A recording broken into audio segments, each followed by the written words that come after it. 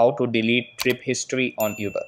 Hey guys, in this video, I will show you how to delete trip history on Uber. Alright, so let's begin with the video. If you want to delete your Uber ride history, open the Uber app. Then scroll down and you will see the activity option. Click on that and your ride history will appear. After that, click on the account option, then tap on the settings option. This will show your privacy area. Then you have to click on privacy and you will be taken to this page.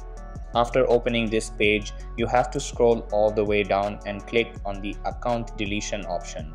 It will take you to a page where you have to fill in your mobile number or email. After that, click on continue and let it load. Then enter the 4 digit code that is sent to your number.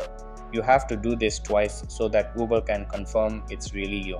Let it load again and then you will be able to see what Uber is going to delete.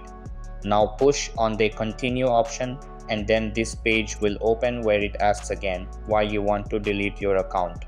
Choose one option and it will take you to a page where you have to confirm and delete your account. After this, you will see the account deleted option and you will be logged out. After this, you have to stay logged out of your account for more than 30 days and that's it. So that's basically how you can delete trip history on Uber. So that's all for this video. Consider subscribing if you find it helpful and I'll catch you in the next one. Thanks.